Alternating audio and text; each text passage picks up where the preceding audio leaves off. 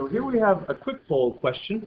And on this quick poll, we uh, the question is a 40 kilogram crate is being pushed horizontally across the floor if the coefficient of friction is sliding. Now, you can do your calculation over here. Ready? I will start the quick poll. And let's take a look at what happens on a student's screen. And so without, we'll um, make this student the presenter. And the student can come over to that side of the screen using a nice little control tab, toggled over there, doing the calculation of the mass times about gravity, approximation of gravity, gets his answer, toggles back over, control, and then we can see, um, makes his choice.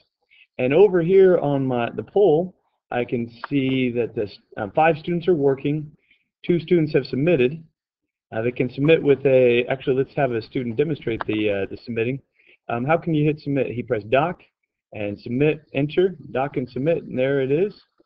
Um, and then we can see that we have a total of eight people are finished. I can stop the poll and we can see the results that 100% of the class got it right. Great job, class.